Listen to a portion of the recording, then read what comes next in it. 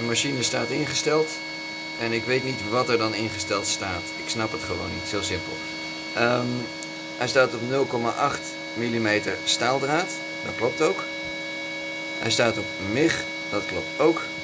Hier staat op dit moment niks aan. Dan kan ik of voltage of amperage kiezen. En als ik nu aan de knop draai, dan gaat het voltage naar beneden. Zo of omhoog.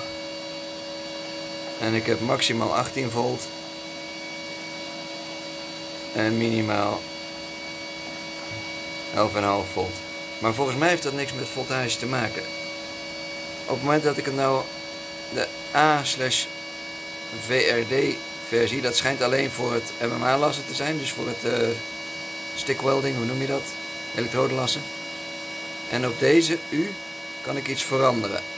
Dus daar ga ik heen. Dan staat hij ineens op min 5 daaronder. En het wordt. Het voltage gaat omhoog. Nu kan ik gewoon rechtstreeks het voltage doen. En ik heb een waarde daaronder. Die ook mee verandert. Maar ik heb geen idee wat die waarde is. Ik kan nu ineens ook naar een veel hoger voltage. En ik kan ook naar een. Nog steeds 11,5 als minimum. Ik weet niet wat hier aan de hand is. Ik weet niet wat dit betekent. Ik denk niet dat dit amperage is. Nu zet ik hem op 0 en 16,5 volt. Dan wacht ik even tot hij uitgaat.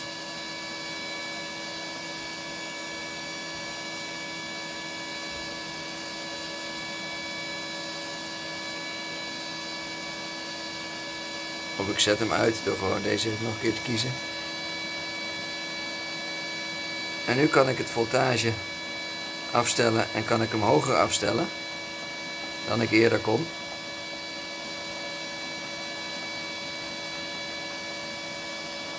En ik kan hem hier naar 16,5 volt brengen. Dat is minder laag dan die eerst kon.